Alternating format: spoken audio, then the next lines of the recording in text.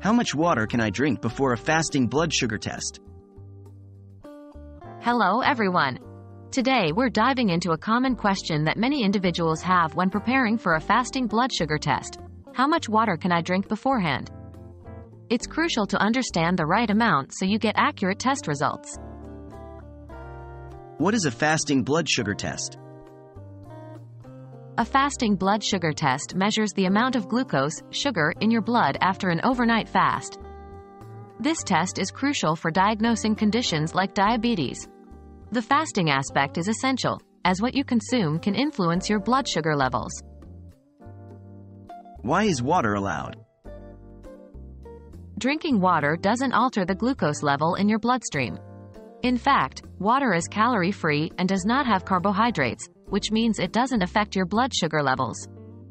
Staying hydrated may also help in obtaining a good vein for the blood draw. So, how much water can I drink?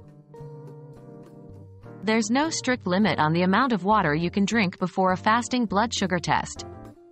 You can and should drink water as you normally would, ensuring you remain well hydrated. This not only makes it easier to draw blood but also ensures your body is functioning optimally. However, it's essential to stick to plain water. Avoid flavored waters, soft drinks, and other beverages, as they might contain sugars or other ingredients that can influence the test's results. Thank you for joining us in understanding the relationship between water intake and fasting blood sugar tests. The key takeaway is to stay hydrated and drink plain water as you usually would. We hope this information makes your next test prep a breeze.